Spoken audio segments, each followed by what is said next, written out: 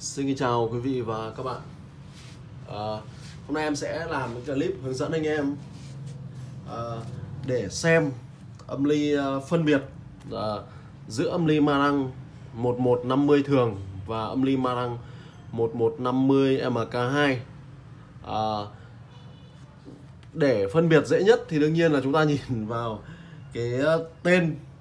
Tên thì đã sẽ chắc chắn là là là là cái model 1150 Mark 2 thì nó sẽ có chữ Mark 2 còn trơn nó trơn thì là là trơn rồi. À, tuy nhiên thì nhiều anh em cũng ờ, có gọi điện và cũng có nhắn tin hỏi em rằng là uh, cách phân biệt nào mà để biết chính xác nhất. Bởi vì là chiếc mặt âm ly này có thể tháo ra được thì hôm nay em sẽ hướng dẫn cho anh em mà một cách để kiểm tra và phân biệt rõ ràng nhất để anh em tránh bị nhầm lẫn và tránh bị tình trạng là bị mua nó lẫn. Ví dụ như có thể là uh, vỏ. Uh, mặt 1150 mà cả hai nhưng lại ruột của 1150 trơn. Thì em sẽ hướng dẫn anh em cách phân biệt. Uh, đâu là ma răng 1150 MK2 và đâu là ma răng 1150 trơn. Bởi vì ma răng 1150 MK2 thì uh, uh, đằng sau đít ấy, cái tem đằng sau đít ấy, thì nó sẽ có hai đời. Một đời là sẽ in chữ 1150 mà cả hai một đời là không. Đó. Và thì uh, nhưng cái một cái quan trọng nhất để chúng ta phân biệt đó chính là mở ruột máy ra. Và đây chúng ta sẽ tiến lại gần để anh em cùng rõ ràng hơn nhé bởi vì hai chiếc máy này thì dùng những cái linh kiện và thông số kỹ thuật thì tương đương như nhau duy nhất chỉ có một điều mà chúng ta mở máy ra mới biết. Xin anh em tiến lại gần. Và đây là ở chiếc uh, âm ly Marang. 1150 MK2 em sẽ sang bên uh, còn chưa anh em có nhìn thấy gì khác không ạ? Vâng rõ ràng ngay. À, bởi vì là ở bên trong máy thường thì sẽ có một cái nắp như thế này để che phần uh, mạch âm sắc ở phía trước. Thì uh, chúng ta sẽ mở máy ra và mở cái nắp sắt này ra. Đó chúng ta sẽ thấy ngay. Ở Marang 1150 MK2 đây em sẽ nâng cao máy lên để cho anh em ờ, cùng xem nhé. Máy lên. Chúng ta xem cho nó rõ ràng hơn.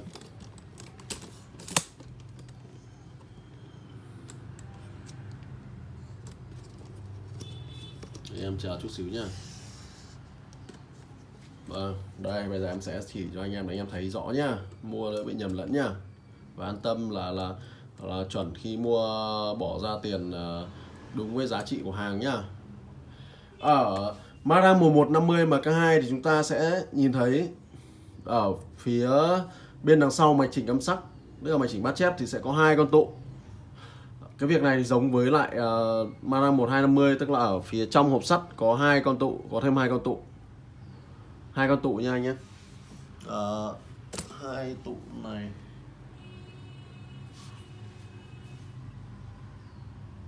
Đây hai à, con tụ mỗi tụ 10.000 mi. Ở Marang 1150 trơn thì sẽ không có. Và đương nhiên là cái việc này sẽ trơn sẽ không thể biến hóa thành hai được. Và đó thì uh, bởi vì là cái này thì sẽ chắc chắn là sẽ không thể thay đổi được. Đấy đây là cách phân biệt đơn giản nhất và anh em tháo trực tiếp máy ra để xem. Chứ còn là sau đít thì nó 1150 mà cả hai sẽ có hai đời. Một đời là in tem và một đời là không. Nên cách này, cách phân biệt anh em, phân biệt đơn giản nhất là anh em tháo máy ra. Bên trong nó có hai tụ nguồn. Nối song song với tụ kia thì là là là là là mùng 150 MK2 điều này sẽ giúp cho mùng 150 MK2 khi đánh những cặp loa có cần lực đánh tốt hơn thì mùng 150 MK2 đáp ứng sẽ tốt hơn. Mặc dù hai máy công suất tương đương như nhau, thông số tương đương như nhau, nhưng vẫn có một vài linh kiện thay đổi. Nhất định những linh kiện nhỏ thì em không nhắc đến nhưng điều để đơn giản nhất anh em phân biệt được đó chính là hai con tụ này. Ở 1150 MK2 thì có và trơn thì không có. Thì uh, khi có tụ này thì khi chúng ta đánh những cái loa mà cần dòng lớn hay khi đánh mà những cái bản nhạc nhanh hay là những bản nhạc mạnh mà nó ngốn công suất thì uh, 1150 MK2 sẽ đáp ứng tốt hơn. Và đương nhiên là MK2 thì là bản nâng cấp của 50 1150 trơn thì sẽ có những linh kiện và những cái chi tiết khác thay đổi để làm chất âm được cải thiện hơn. Tuy nhiên, những phần phần đó thì nó nó nó khó để kiểm tra, phải có kỹ thuật và chúng ta phải có máy để để, phải có hai máy để so sánh thì chúng ta mới biết được. Và với, theo em nhận xét thì chất âm hai máy có nhỉnh 1150 MK2 nhỉnh hơn một chút, nhưng để mà nghe được thì cần một đôi tai khá là tinh thì mới phát hiện ra được. Còn nếu không thì hợp lý tiền chúng ta chơi 1150 trơn cũng là rất ok rồi. Hai máy đều phối ghép với tất cả các cái dòng loa. JBL Bass 30 trở lại là em thấy đánh là ok hết. JBL rồi loa Mỹ rồi uh, uh, loa Nhật là đánh được hết. Vì uh, dòng này sử dụng uh, sò nhôm sò ép anh em nhé.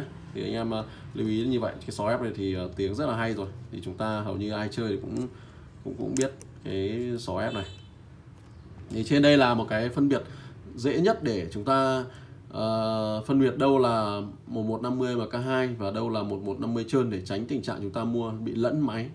Thì uh, đây là một số cái chia sẻ uh, nhỏ để giúp anh em mua được những cái sản phẩm đúng giá trị đúng cái mức tiền mình đầu tư. Vâng xin chào anh em.